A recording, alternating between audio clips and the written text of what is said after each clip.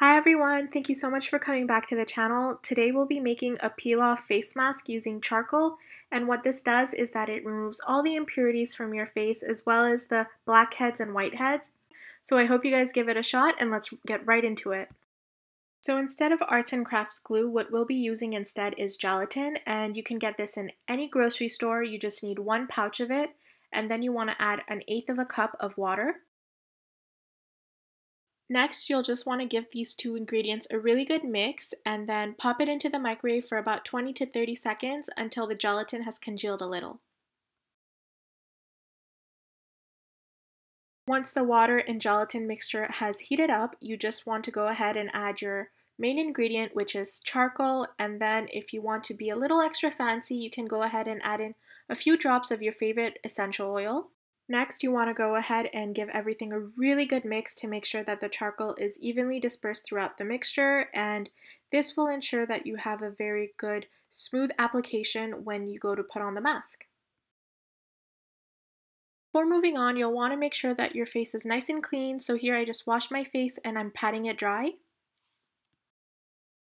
So now we're ready to start applying the mask. You can definitely use your hands for this, but I like to use a brush. I just think it's a bit cleaner and it also helps to apply the mask a lot more evenly and smoothly so I just used an old foundation brush that I had.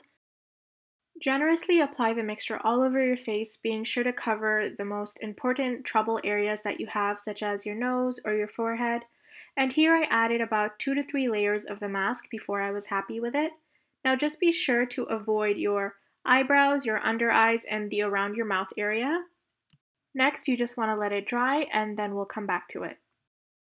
So now it's been about 30 minutes and the mask is completely dry. I cannot move my face. I'm trying really, really hard, but nothing moves. So that's how we know that it's ready to start peeling. And so we'll just start doing that.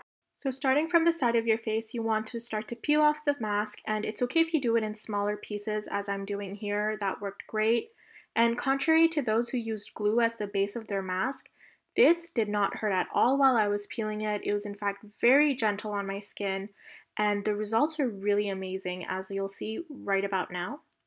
So I've zoomed in on the residue left on the mask and as you can see it really got all of my blackheads, my whiteheads, and any kind of impurities that were on my skin is now on this mask. It really did a fantastic job at removing everything.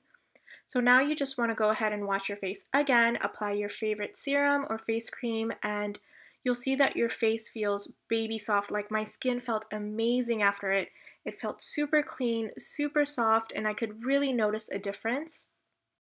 That is it for today's video. I hope you guys give this a try, and if you like the video, then please don't forget to give it a thumbs up and subscribe, and I'll see you guys next time. Bye!